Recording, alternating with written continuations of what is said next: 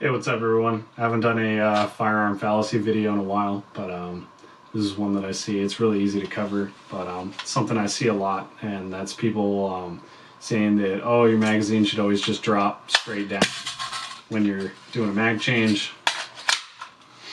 You know, and if it doesn't, you're, you're doing it wrong or whatever. Hold your rifle horizontal so it drops straight out first and whatever. And uh, that's their advice, right, for doing emergency reloads. Number one, avoid emergency reloads at all costs. Um, you know, tac reload. Keep your uh, keep your rifle topped off. Again, I've never done anything other than attack reload in combat. Part of that's just prior planning, right? But in terms of emergency reloads, I understand on the range going for your fastest times because you're uh, so in love with your shot timer that uh, you can't stray away from it. Um, you may think that you know, oh yeah, I'm always going to need to hold my rifle horizontal and stuff. Well, guess what? In the real fucking world, in real life, in a gunfight, you're probably not just going to be standing out in the open. I hope not. Um, which means you may be maneuvering around other people, you may be behind cover, and your rifle might not be horizontal.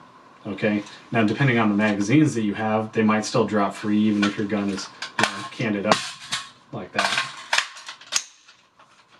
But they might not you know if you got uh, PMags and stuff like that, they tend to kind of grip a little bit better. They're grippy, which is good to grab onto out of your pouches, but it also grips the inside of your mag well a little bit, right?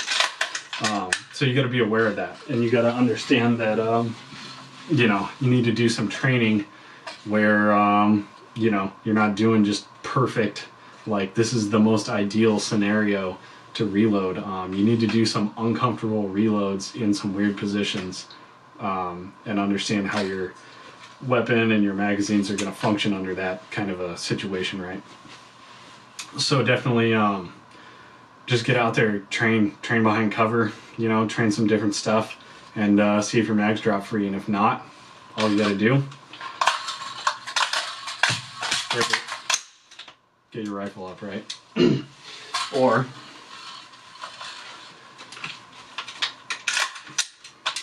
Or if you feel that magazine not pop out and your hand isn't down at your mag yet, strip it first, magazine in, and get the gun up, right? Again, real real life situation, you know, there's gonna be dirt and dust and mud and shit in your gun, it might not slide free.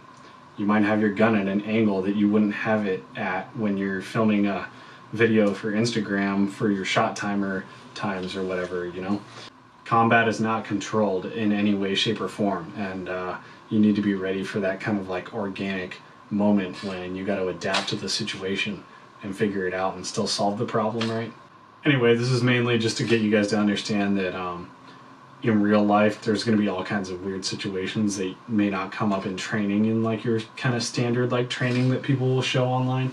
Um, but it's going to happen in real life, and uh, you're going to fumble. You're going to fumble a bunch probably. Um, but that's why you need to do more realistic training. You need to be get out and be running around and uh, using cover and stuff like that and uh, learning how to do that stuff, right? That's going to set you up for success if you ever have to do that for real. Take care.